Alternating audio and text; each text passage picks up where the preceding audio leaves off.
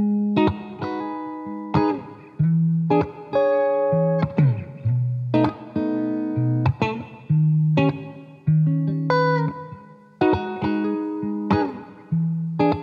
like to apologise to my parents for the last 22 years. And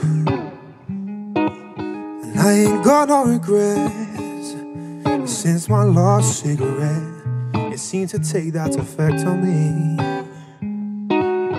Never felt that full threats of playing Russian roulette with six bullets in the magazine.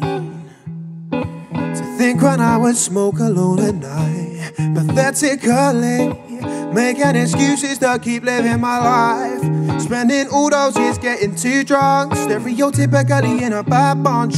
All of the skunking, all of the blunts made their repairable dents in my funds. And spending all my nights outside and going home with bright red eyes for most of my life. I wasted my time, now I drew the line, and it's for the better.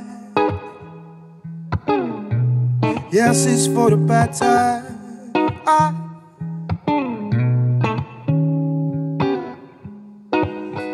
find it hard to accept, and so I tried to suppress when the police arrested me.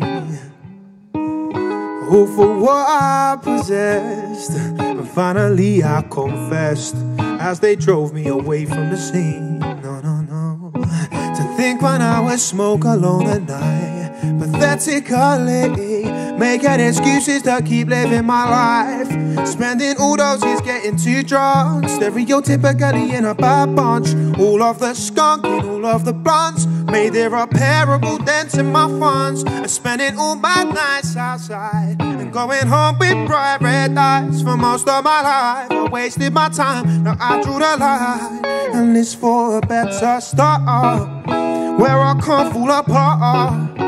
And I can blaze in the dark with my six string guitar.